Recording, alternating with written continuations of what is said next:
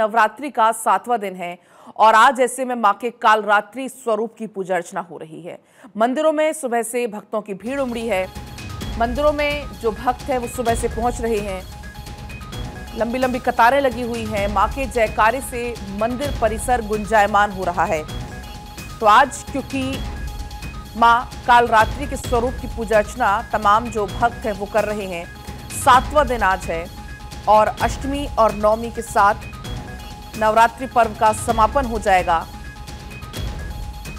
कन्याओं के पूजन के साथ नवरात्रि पर्व का समापन हो जाएगा। लेकिन उसके पहले सप्तमी, अष्टमी, नवमी और दशहरा, इन चारों दिनों की काफ़ी ज़्यादा धूम मंदिरों में देखने को मिलेगी।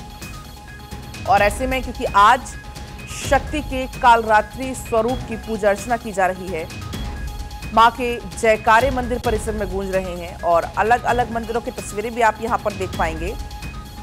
क्योंकि हर कोई अपनी अपनी श्रद्धा भाव से अपने अपने तरीके से माँ को प्रसन्न करने की कोशिश में इस वक्त क्योंकि जुटा हुआ है।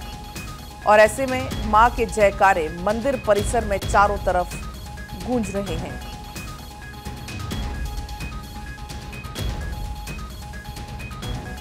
तो आज शारदीय नवरात्र का सातवां दिन है और ऐसे में सातवें दिन तमाम जो भक्त हैं वो माता की पूजा अर्चना के लिए सुबह से ही मंदिर पहुँचने लगे हैं।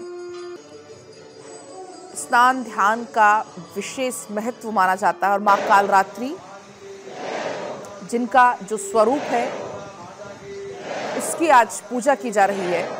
और वैसे भी कहा जाता है कि माँ कालरात्रि की पूजा करने से, सच्चे मन से पूजा करने से, सच्चे मन से उनसे जो कुछ भी मांगा जाता है, माँ भक्तों की झोली खाली नहीं छोड़ती, माँ सारे उनकी जो मनोकामनाएँ हैं, वो पूरा करती हैं।